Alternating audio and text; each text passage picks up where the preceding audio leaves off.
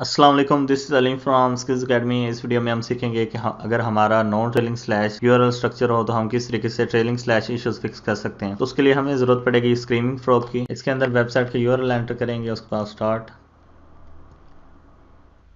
तो ये क्रॉल में 10 मिनट लगाएगा। इस कोड को कॉपी करेंगे। तो क्रॉल हमारा कंप्लीट हो गया। यहाँ पे पेस्ट करेंगे। उसके बाद एंटर तो ये सारे ट्रेलिंग स्लैश यू आ जाएँगे। तो अब आपको इनका सोर्स फाइंड करके इन लिंक से इन सबको अपडेट करना पड़ेगा। अगर ये ज़्यादा अमाउंट में है तो आप लिंक चेक कर प्लगइन भी यूज़ कर सकते हैं। उसके अलावा अगर ये थोड़ी मकदार में है तो फिर आप इन्हें सिंपली सोर्स ऐड करके अपडेट कर सकते हैं। तो चूँकि हमारी वेबसाइट का स्ट्रक्चर जो है वो ट्रेलिंग स्लैश है, इस वजह से हम इससे प्रैक्टिकल नहीं कर सकते, लेकिन उम्मीद है आपको कंसेप्ट की समझ आ गई होगी।